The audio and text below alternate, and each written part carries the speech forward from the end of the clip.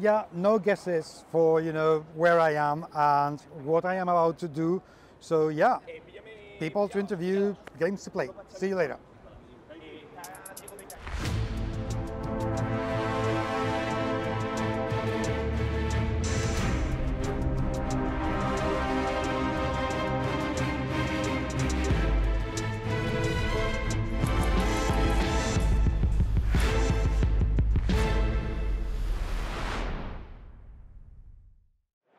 On our quest to finding games from places where normally people wouldn't look into, we are actually going all the way to Croatia, or better said, actually Croatia is coming all the way here in the shape of Interhuman Studios, Damir, and Rats Within Walls, which, Damir, it looks absolutely amazing. Thank but you. Before we go into um, what the game is all about, tell me a little bit about Interhuman Studios. How, how does it get started? Well, it started um, officially, started two years ago Okay. when we opened the company for this. But uh, unofficially, I started about four years ago with the first projects, with learning, with studying, with research. And then about two years ago, we decided to make it serious, to start making games for the public, not just for ourselves, and uh, to make an attempt to make a complete board game. Is this uh, is uh, Rats Within the Walls the first game that you're commercially made available? Yes.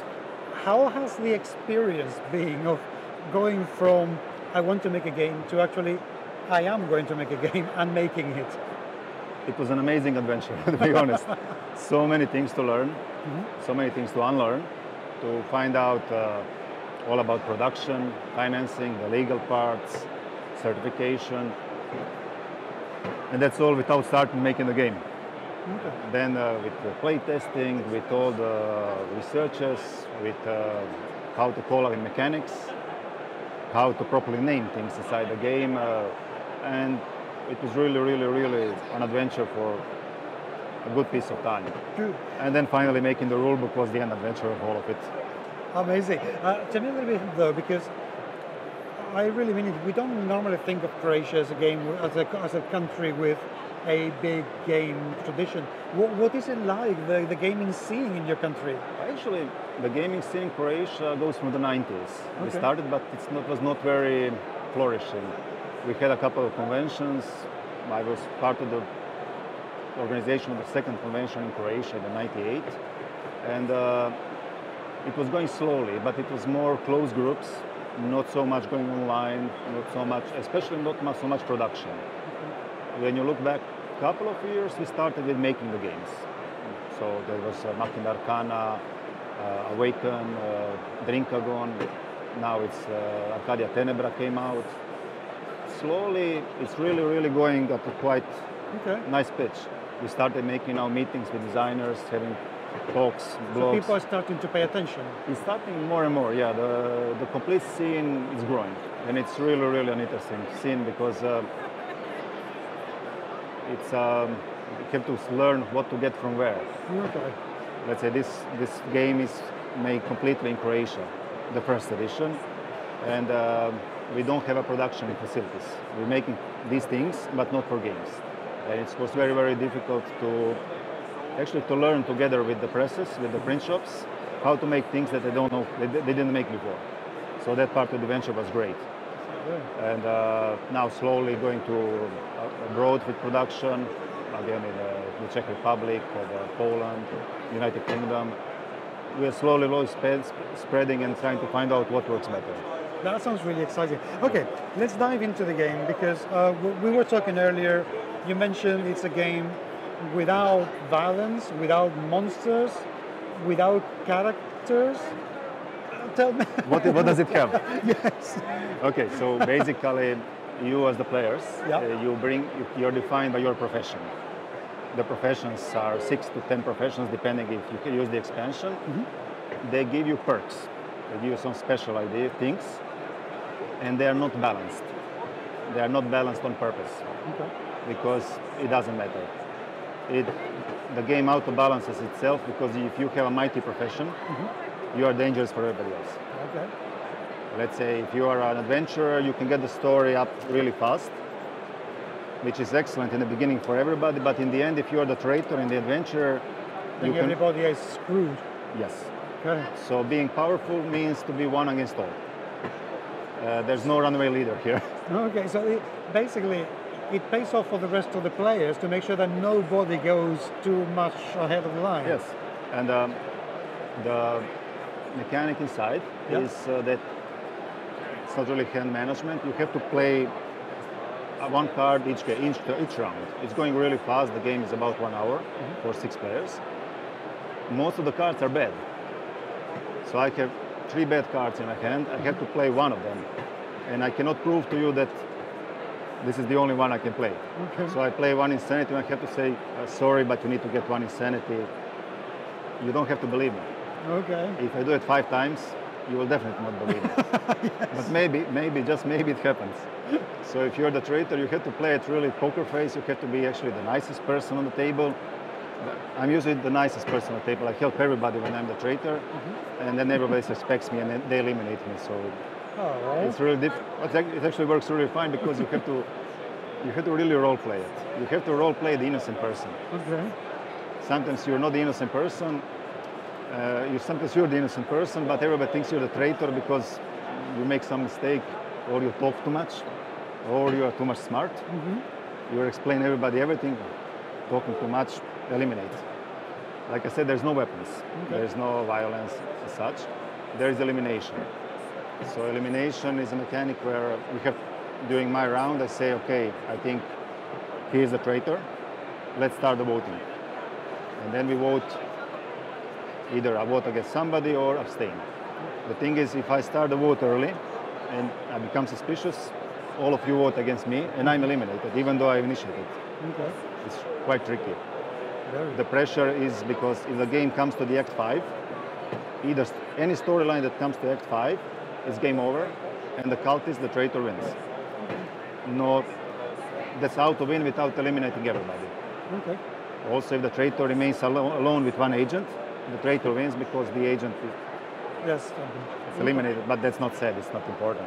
Okay. Um, this is a very Lovecraftian sort of game, of course, Yeah. you know, with rats in the walls and everything. Um, how does it handle sanity?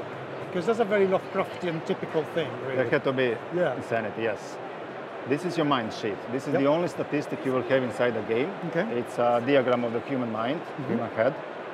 And as you go, let's say any effect that tells you you get one sanity, you get one sanity at random, mm-hmm. and you place it in the point where it goes. So Okay. you don't know what's going to happen. And you have a problem, but even you, do, you don't know what it is. And nothing will happen until you accumulate more. So you just begin to feel weird.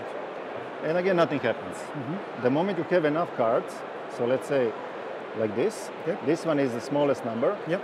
total is three, this one will activate and it will cause you to happen something. It's scrolling, you gain one more insanity, which is Okay. excellent, Wow.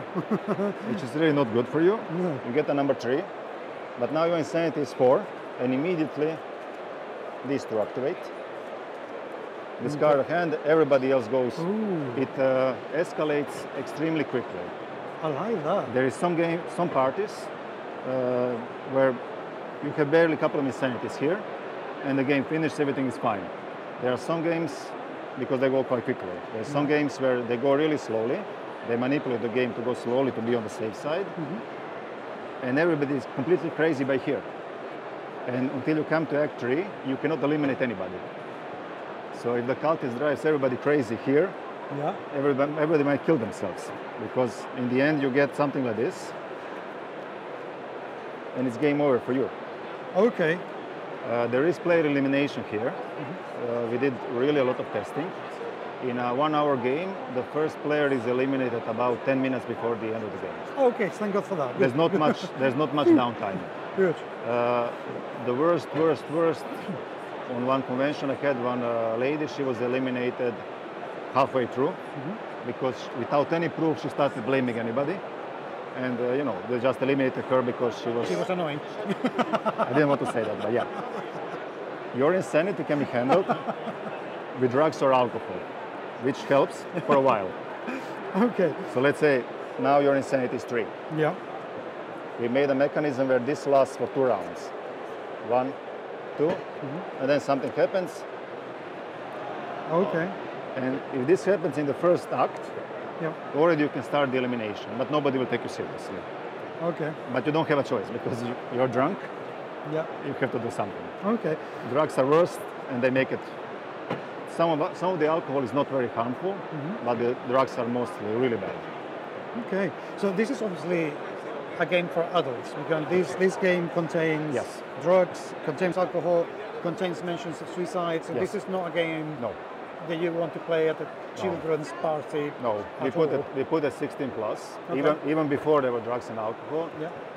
We don't believe that a 12 year old, except, exceptions are there, but will enjoy it. Okay. We don't want uh, somebody to buy this game for their 10 year old or 12 year old because it will be a boring game for them. This is um, poker, you have to do bluffing, you have to, it's not about, there's no pictures, there's no weapons, there's no rolling of dice. It will be boring for kids. And uh, just simply, we don't want people to get the game that they will not enjoy. No, that's fair enough. That's fair enough indeed.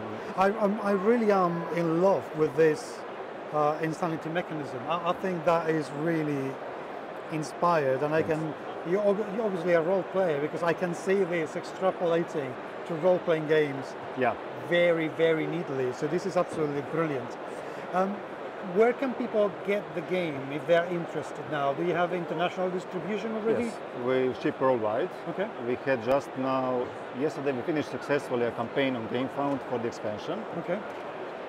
The game, we are still missing some cards because we started the production when the campaign was going okay. Uh, we have, we'll have a late pledge for our game uh, in about two weeks. Okay. And we have our web shop. On the late pledge, you can get, but yeah, in about two weeks, you can get either of them on our web shop as well, or on the Gamefound, whichever you prefer, whichever is better for you. We started doing a little bit with the woodworks also, so we are starting making some limited editions I saw that. That looks absolutely gorgeous. because we enjoy actually enjoy enjoy making things from wood. So this is the limited edition, but it's sold out already. I bet.